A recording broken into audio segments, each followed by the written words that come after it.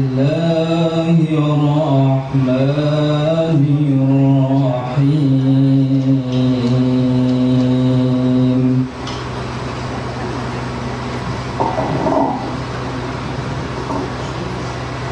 هو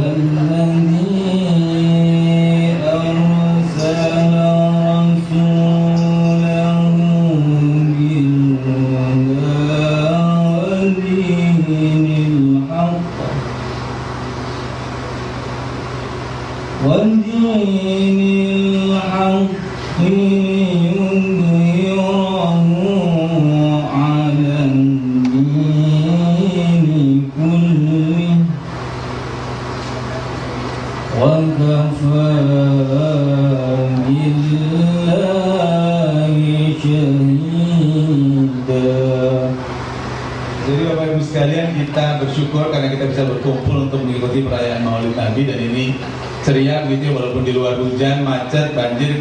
Kasihan Pak Ustadz ini dari Serang jam habis subuh. Sekarang sudah zuhur sampai di sini begitu ya.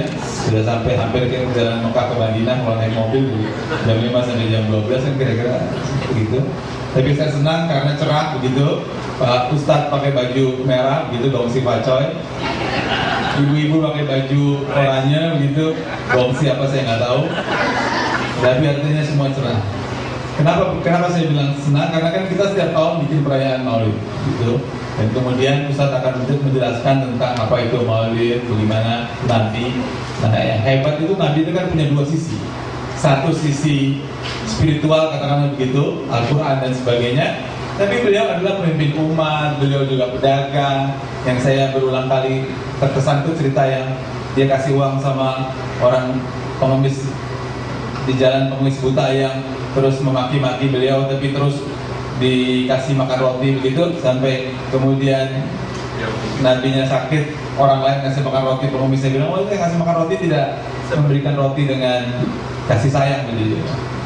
Bukit itu katanya menangis karena Nabi Muhammad jadi katanya Pak masa bukit saja menangis Bapak yang sudah dibawa Bapak ibu yang sudah dibawa dari alam jahiliyah ke, ke alam bahagia seperti ini tidak terharu kalau nama nama Nabi disebutkan. Saya cukup terkesan dengan pendapat itu ya.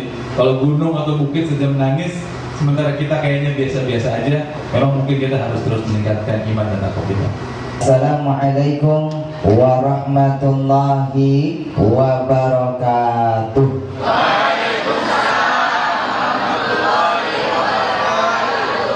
Alhamdulillah Alhamdulillahilladzi ba'asa fina nabiyahu bi ahsanil aqidah wa rafa'a liwa'aha ba'da syariyati wal ghazwa wa ja'ala nutqa wal kalama min wasilati da'watil islamiyah. Assalatu wassalamu ala man la nabiyya Sayyidina Muhammad bin Abdillah wa ala alihi wa ashabihi wa mawalah kita berzikir semuanya. Semoga kita meraih keberkahan yang hadir pada hari ini. Subhanallah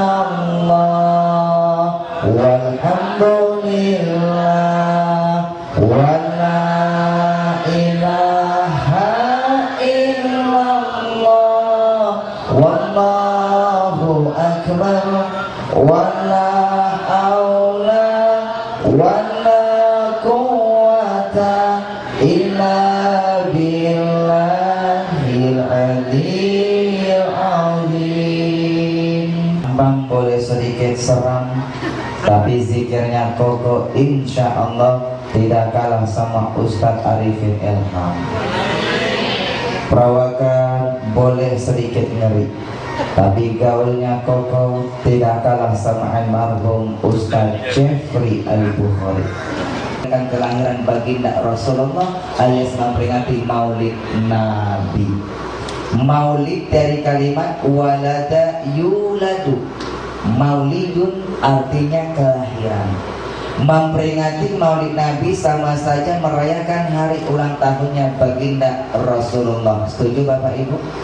Bapak mau tanya Bapak Ibu yang berbahagia Tolong jawab dengan jujur Jangan ada dusta di antara kita.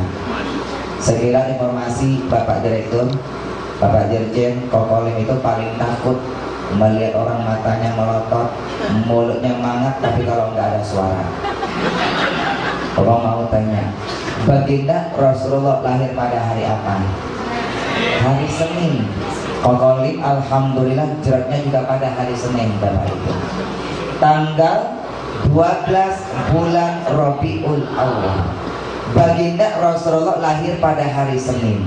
Makanya Rasulullah selalu berpuasa di hari Senin. Ada puasa sunnah Rasul Senin dan Kamis Kenapa baginda Rasulullah selalu berpuasa di hari Senin?